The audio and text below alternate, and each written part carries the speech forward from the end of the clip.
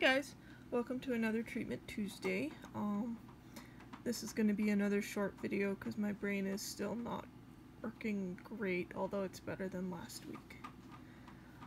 This week I'm going to talk about a certain specific aspect of Lyme treatment, which is what to do to counteract um, Lyme and other bacteria's um, ability to fight off the things you throw at it to kill it.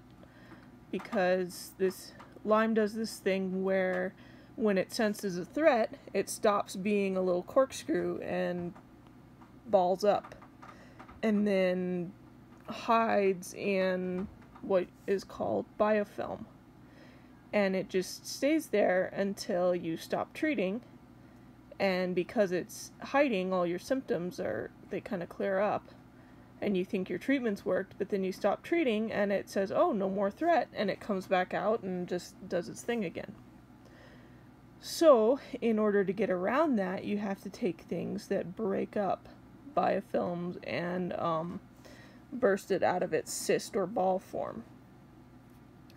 So that's what these are for.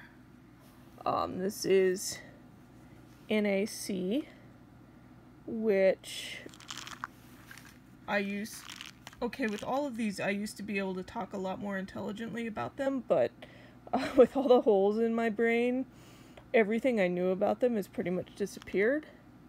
So, anyway, I remember that this is why I'm taking them, but I don't necessarily at the moment remember um, the specific things about them. I know this benefits your liver.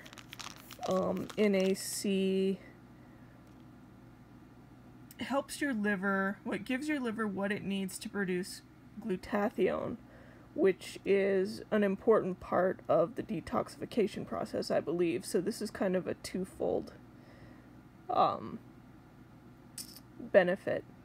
I'm sorry, my brain is still messed up. But anyway, so I take I take the NIC both for breaking up biofilms and for helping my liver with de detoxification. Then there's um, nattokinase and serrapeptase.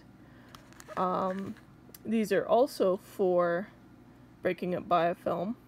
Um, it's advertised as breaking up scar tissue, and scar tissue, serrapeptase specifically, breaks up scar tissue. What scar tissue is, built of is the same thing that um, Lyme uses to build up biofilms in your system. It uses the same protein from your blood to do that.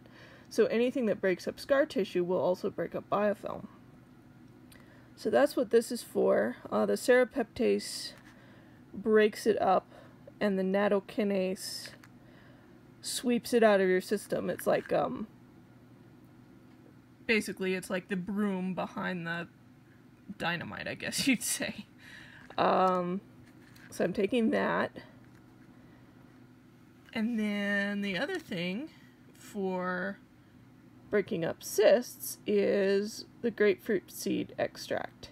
And this also has other benefits. This is also really good for some of the co-infections that you often get if you have Lyme, one of them specifically being Bartonella, which I'm pretty sure I have. I've never been tested for it, but I have a lot of the symptoms, and it's a common side infection that you get along with Lyme. So, I'm taking this for both of those things as well. And this isn't worded as well as I would like, it isn't as clear as I would like, but hopefully it's clear enough for now.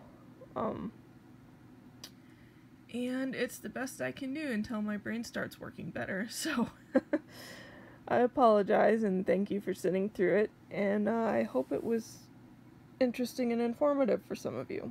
Love you guys. Uh, hopefully, I'll be back to update on Saturday. Bye.